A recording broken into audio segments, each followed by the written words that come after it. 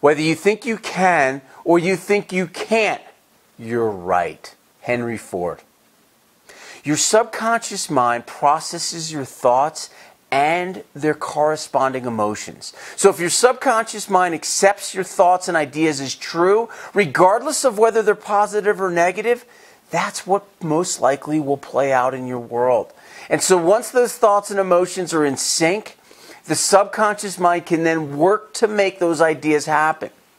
And if you've ever worried about a situation so sure of a bad outcome, and then it actually happened the way you anticipated it, and it's sort of that I told you so moment, what that is is your subconscious mind manifesting the outcome. And it becomes a self fulfilling prophecy because your subconscious just does what it's told.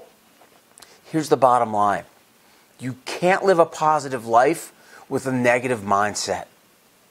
I'll repeat that. You can't live a positive life with a negative mindset. So, how can you plant positive images in your mind? And the answer is a vision board. It's as simple as a bulletin board with pictures of things you want to do, you want to be, and you want to have. And or it could be more elaborate like a screensaver. There's even an app that you can get called Vision Board. What I did was, was I used a digital frame. And the digital frame, I put in that digital frame, I put pictures of what I wanted to bring into my life. And one of those things was the ski house that I'm talking to you from right now. I made that happen. And within a year of me putting this vision board together, I closed on that house. And what I did was I kept that, that digital frame on all day as I worked. And I would look at it from time to time, but constantly it was just being sucked into my subconscious mind.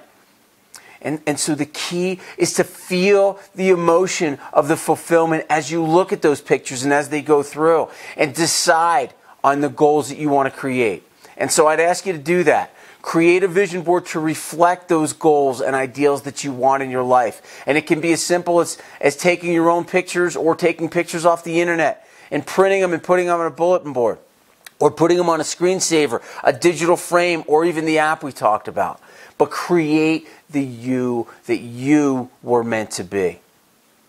And so I'd ask if this message resonates with you and if you know of others that can benefit from it, I simply ask that you pass it along. And in the meantime, have a great, great week.